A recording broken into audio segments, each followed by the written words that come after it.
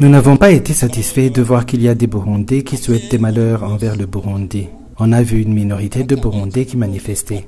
J'ai été étonné en voyant un militant du CNL comme organisateur. J'ai été surpris que quelqu'un ait pris l'avion pour participer dans ces manifestations. Je me suis finalement dit qu'il y a des ingrats. Bref, pour dire que je ne les ai pas appréciés. Ils ont montré qu'ils n'ont pas été contents de voir les sanctions levées pour le Burundi.